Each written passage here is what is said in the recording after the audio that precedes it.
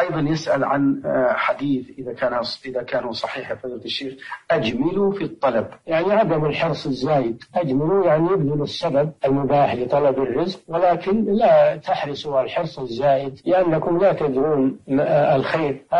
الخير لا يعلمه إلا الله عز وجل فأنت تبذل السبب فإن حصل لك المطلوب فالحمد لله وإن لم يحصل لك المطلوب فلا تندم وتعلم أن هذا بقضاء الله وقدره وأنه لو قدر لك لحصل. والنبي صلى الله عليه وسلم يقول احرص على ما ينفعك واستعن بالله ولا تعجزن فإن أصابك خير آه، فأحمد آه، يقول صلى الله عليه وسلم احرص على ما ينفعك واستعن بالله ولا تعجزن فإن أصابك شيء فلا تقل لو أني فعلت كذا وكذا لكان كذا وكذا ولكن قل قدر الله وما شاء فعل. وفي رواية قل قدر الله وما شاء فعل. فأنت تبذل السبب المباح وإذا لم تحصل النتيجة فإنك تؤمن أنه لو قدر لك؟ لحصل ولا وأنه لو وأنه إذا لم يحصل فهذا دليل على أن الله لم يقدره لك. نعم.